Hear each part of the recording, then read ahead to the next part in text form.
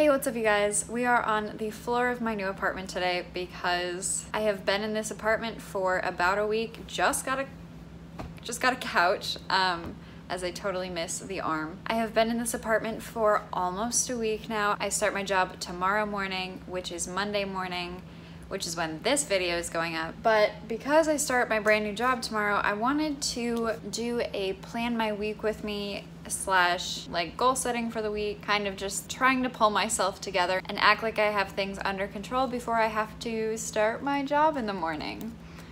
So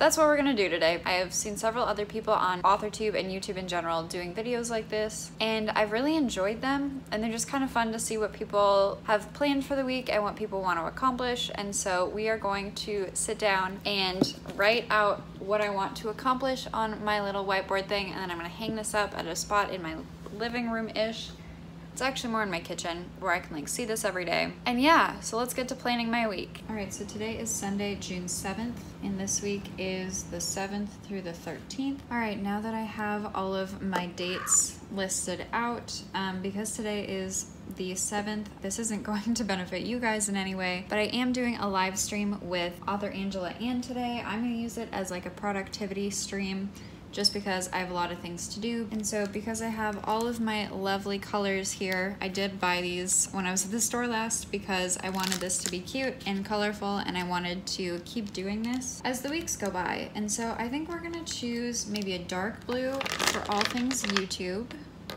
So today at 3.30 my time, so 3.30 Central Standard Time, I have a live stream. Sweet. And while I am doing the YouTube stuff, I think I'm gonna go ahead and list that all the way across. But because on Mondays and Thursdays is when I normally post, and I normally post in the mornings, and so my edited videos are ready to go at least by the night before, I'm gonna write it down at the bottom what videos I have going up, although I'm not entirely sure which one is going up on Thursday yet, but this video that I'm currently making is going up tomorrow, which is Monday morning. All right, so we have YouTube video on Monday, and a YouTube video on Thursday.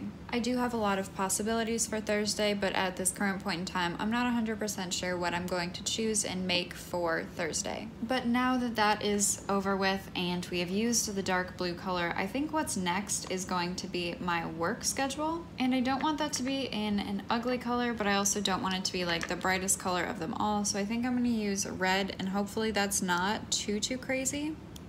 And I still have paperwork that I need to fill out today before I start this week. And so I'm to put it on Sunday, which is today, that I have to finish the paperwork and send that back over to my boss. All right, and then my job is a marketing job, and so it is very standard 8 to 5. But on Fridays, I actually don't end at 5. I have a half day, which is really nice, and so it is to 1 p.m. instead of 5 p.m. And then for Saturday, I don't have a ton of things planned right now. I think a couple of my friends are gonna come back into town, but until then, we are dealing mostly with my work week. For my appointments, I am gonna use this bright green because this is what I use on my calendar app on my computer. And I just have an appointment on Tuesday at 6.30, so just gonna add that quick. All right, so those are basically all of the things that I have to do. And so now it's time for me to try and schedule some writing in here. I do need to start draft three, which is interesting and have not necessarily done that yet, but I think what that's going to entail is reading the second draft and kind of where I left off with that, and then making sure that the ending is good, the ending that I wrote sort of after the second draft was done, and then essentially just trying to put an effort to reorganizing my chapters and making sure that everything is in its place and in a good place and that everything is like good to go. And so basically then I will hopefully start to like interweave all of the three perspectives whereas they have been completely isolated up until now. But I think that that's going to be a really cool and exciting step. And so I think the color that we should choose for that is maybe light blue. I mean, orange might just be really harsh on the eyes. Let's check that. Oh, that's actually a really good color. So I think we're going to use orange. Well, if it erases. I am using like cardboard, which is not good. It's the packaging from the marker set. This is kind of a hard goal to set because I have not yet had a full-time job and so it's hard for me to know how tired I'm gonna be after work. So I think what I'm gonna do is just put down like an easy goal of, oh my goodness, I just saw that I did these wrong. It jumps from 11 to 13 and 14. That's incorrect. That's fun. This is the 12th and the 13th. But anyways, that's been fixed now. But basically, what I was saying with my orange and my writing goals for this week, I am not entirely sure of what to put down just because this is a new scenario for me. And so I think I'm going to make it pretty easy um, because I do have long lunch breaks. And so I might be able to work on writing during my lunch breaks. But I think what I'm to say is read a chapter a day. And then if I do more than that, I'm super happy with it. But then that's just like intentionality of me working on it at some point throughout my day. I'm going to say DE for my project DE, DE, one chapter. And I suppose I should also enter that in for today, probably during the live stream. I'm to try and do DE one chapter just because I know that I will be on that live stream today and it is a write-in. I was gonna use that as a productivity stream, but I think that is good to list on here. I like how this kind of looks like it curves.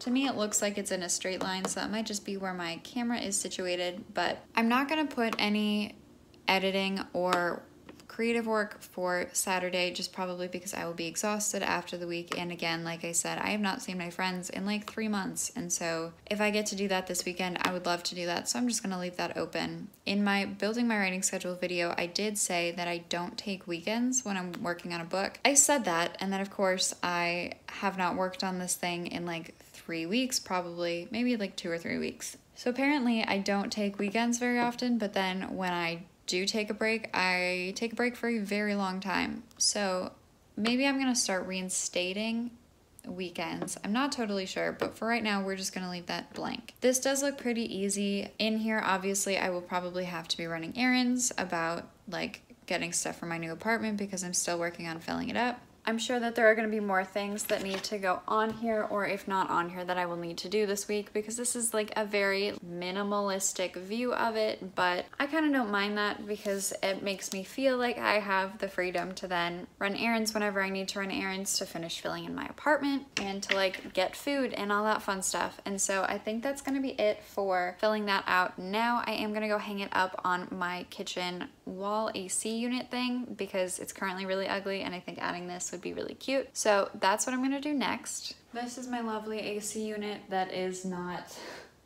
very cute. But this is what I'm gonna hang up my calendar, like weekly overview thing on my whiteboard so that it's in an easy spot for me to like see every morning so that I can kind of have like a rough overview of what needs to happen that day. I do keep greater detail on my computer calendar, but this is gonna be so much easier just to like glance at so that I don't have to like open up my computer, pull up the calendar, check, make sure everything's good. I will likely still do that, but at least this is a like quick overview and I'm sure I will be adding things to it as time goes and as my week progresses and I have things that I have to do at certain times throughout the week.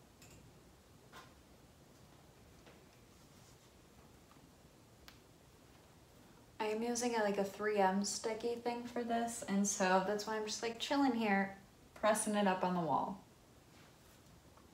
All right, wow, I really hope that's like even, but it's up.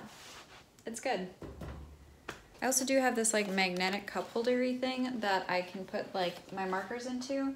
Although I'm not sure if I want to put it like here or if I want to put it in my office, which is where I'm going to be putting up like a month calendar whiteboard thingy that I'm going to intend more for my creative purposes because now that I finally have space in an apartment to myself, I mean like I can just like spread out more and so I can finally do art again. I can put up there a more like solidified video schedule, maybe even a live stream schedule sort of after I figure out how I'm doing with work and and all of that exhaustion and fatigue and of course like my writing schedule and hopefully I will be more settled in by the time July hits to try and figure out what I'm gonna do for July Camp NaNoWriMo because I mean, April went pretty well. I feel like April did go really well for that, and so I'm excited about that, and I need to kind of settle in and stuff and probably start on the third draft of my Project DE before I get into July's Camp NaNoWriMo and one of my issues is that I was actually expecting to be further along in draft three, but I haven't even started yet. But draft three, I was hoping to be done by like mid June so that I could focus in July on drafting a new story, which who knows, might still happen, but also I'm starting a job, I'm in a brand new apartment, like I'm trying to be nice to myself and forgiving and just like make sure that life is still going semi smoothly before I overcommit myself. Because if I were to plan on starting to draft something in July, I would want to like try probably not hit the 50,000 words, but get like a solid like 30 or 40, which would be a crazy good writing month for me. And so I'm not really sure what I'm gonna do about that yet, but that's okay. I need to figure it out.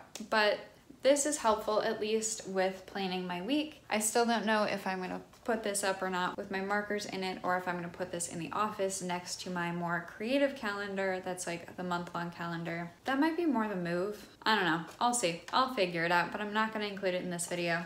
Thank you guys so much for watching. I'm Sara Lubratt. I post videos twice a week and occasionally do live streams and live write-ins if you ever want to join me for a productivity sprint. If you enjoyed this video, this is a little bit outside of what I normally do, but if you enjoyed it, please give it a big thumbs up and I will know to do it in the future or not, essentially. Once I kind of get a little bit more settled into my new schedule, I will probably do a video about planning my month of July with my brand new whiteboard. Can you tell I'm really excited about that whiteboard? But if you are new to my channel, go ahead and hit that big red subscribe button because it really supports my channel. And now I wanna hear from you guys. Leave a comment down below telling me what plans you have for the week, what things you were trying to accomplish, what you have accomplished recently in your writing. Go ahead and brag about it down in the comments because we're all here to support you in your writing journey. Thank you guys so much for tuning in and I will see you guys next time with another video. Bye!